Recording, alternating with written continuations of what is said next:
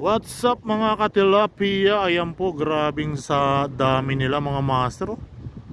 Ayan, nasaan kaya yung mga nanay at tatay nito? Grabe silang mga anak. Grabe silang mag, ano, magpalahi mga master. Hindi po yan fish pan mga master. Malaking ilog po yan dito sa Taiwan. Ganyan po sila kadami mga master. Napakarami pong ano, Junasur. Mga janitor fish. Ayan, kumpul-kumpulan po sila sa sobrang dami. OMG mga master, sobrang kapal. Ayan, kung bibilangin po natin, nako, sasakit ang ulo natin mga master. Hindi natin kayang bilangin to mga master. Ayan oh, maganda to pantihin, kaso ang problema, sasakit ang bewang at ulo nyo pag hinuli natin to. Ayan. Maganda dito mga master, yung malalaki talaga yung butas para pili lang yung mahuhuli, yung makukuha.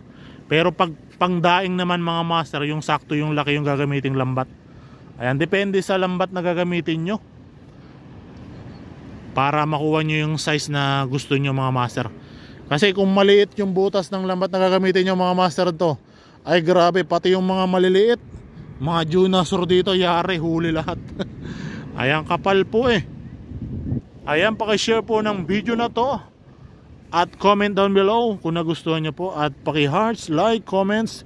Ayan, reaction. Ayan, itag nyo po lahat ng mga kaibigan nyo mga sikat na vlogger. Ayan, maraming salamat po sa inyong lahat, sa inyong panonood. Thank you so much po.